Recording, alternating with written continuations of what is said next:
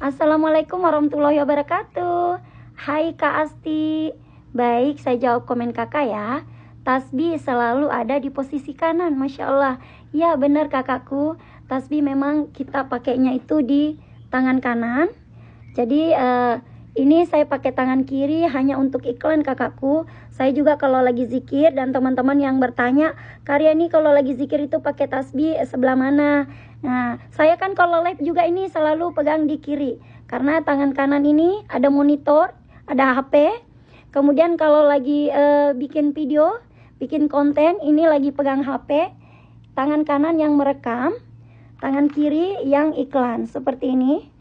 Nah, karena kalau saya pakai tangan kiri genggam HP, ngerekam itu ndak bisa kak. ini tangan kiri saya ini ndak bisa kerja sayang. Begitupun kalau saya lagi masak, misalnya saya lagi mau ngulek sambal, pakai tangan kiri nggak bisa ngulek. Jadi tetap ya pakai tangan kanan.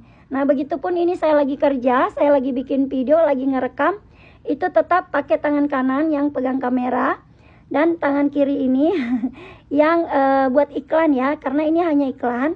Sebagian juga teman-teman karyani yang uh, jual tasbih itu juga mereka iklannya pakai tangan kiri seperti itu kakakku.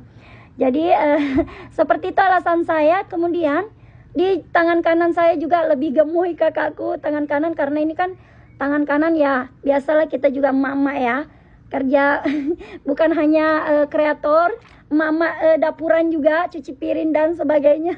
Masya Allah tabarakallah. Jadi karyan itu kalau tangan kanan ini yang aktif kakak.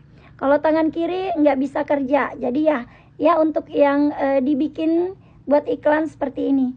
Nah saya sangat berterima kasih ya buat Kasti udah diingatkan.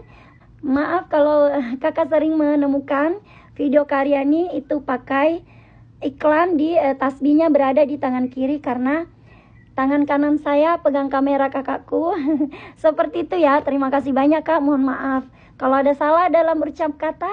Terima kasih. Wassalamualaikum warahmatullahi wabarakatuh.